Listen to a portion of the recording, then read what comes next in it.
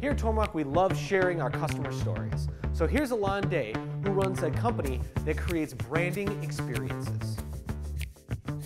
Our main goal is to help companies, especially emerging brands, to create a memorable experience by their own customers. Our goal is to make that experience unique, and so customer could remember what brand they visit and create more of a loyalty. We found that to be able to deliver that kind of a promise, we need to be involved on, in the entire process. We start with helping those brands create an identity, anything from their color and to their logo into messaging. And then we move into other aspect of designing. So we will do the architecture and we'll develop the interior design for those spaces, all the way to producing those unique, not off the shelf elements in their environments. So it's even easier to remember what people experience. When we thought about buying the Tormach, we realized that we have several needs that could not be fulfilled by a router. One of them obviously is to prototype a complex small parts.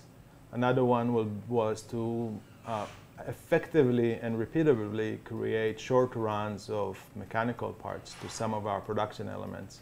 And now we emerging into our new frontier of usage of Tormach where we're making molds for an injection molder that we purchase. Um, all of those needs with the huge variety fit very well with the Tormach machine. Yeah, I think the biggest thing was just the level of precision um, that it bumped us up to. Ilan mentioned that we you know use laser cutters and CNC routers. Um, at a certain point, those are only so helpful. Um, the Tormach brought us to that next level of high precision. The work that we do here, there's a heavy balance between the digital fabrication world as well as you know the master craftsman, like hands-on world, um, and so it's a good balance between that to sort of see how my skills as a digital fabricator with machines like the Tormach um, can supplement the overarching design that we do inside the studio.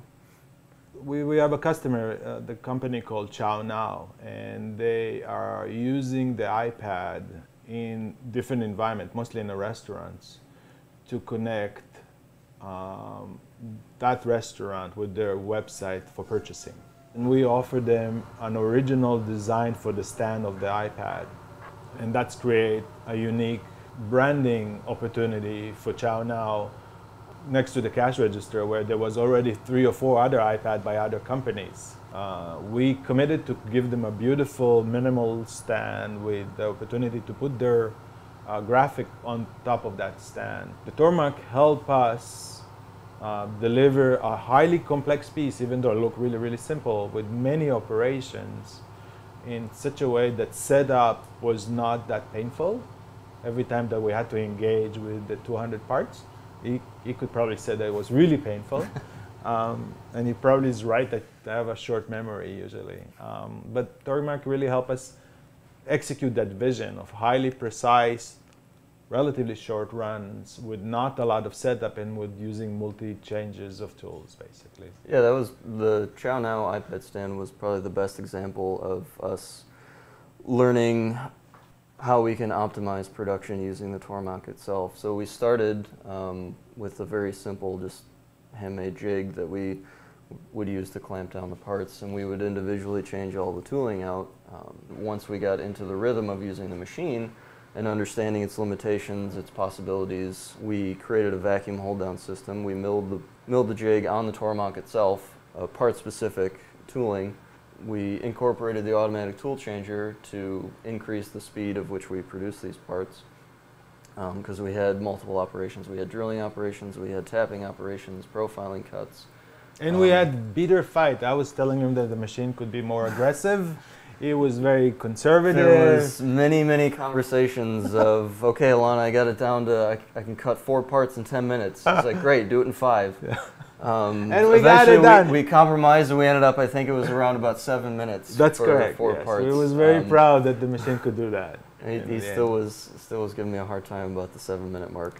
Um, but and over time, like we started essentially from the bottom with that project of okay, we're going to have somebody standing in front of the machine swapping out tooling to we understood what we could do with the machine and we ended up creating a process that was very autonomous. I want to add that actually one of the advantages of Tormach, which is fitting the philosophy of this shop very well, is the modularity. As we encounter issues, we could buy modules that help our operation. We bought the tool changer, which we didn't have in the beginning. We had the flood system, and now we're going to add the fourth axis elements so we could explore and improve the performance of the machine without fully committed to all of those elements in the beginning. And it's match our learning curve as well, and which was really, really important. We, we didn't need to buy what we didn't need at the time. And that was fantastic. I mean, modularity is the lifeblood of what we do here because our needs change all the time, we were seeking a machine that is not precious or overly, not overly complicated, where we're going to be intimidated from exploration. Yeah, I, I really do enjoy sort of the modularity, like Ilan spoke of, of like there's always something more that you can put onto the machine to help you facilitate what you're working on. If we didn't have this, we wouldn't have gotten an injection molding machine. So now we can use this to supplement that knowledge. Um, and sort of just keep moving forward. Um, so I, sh I, share Ilan's vision that it, growing it organically in the way that it has been has been super fun. And I mean, you never know what's what's going to happen next. We really don't. No, we really don't. Like that's the thing. we really like, don't know what will happen next. If you would have asked me surprising. a year or so ago that we'd be doing this right now, I, I would have told you you're crazy. that's awesome. And that's what's so amazing actually about technology and what Tormach represent. I think that our, the playing field for us to output really good work uh, in a relative, in relatively short amount of time and small amount of capital that make us as competitive as very large manufacturers. Um, that's exciting.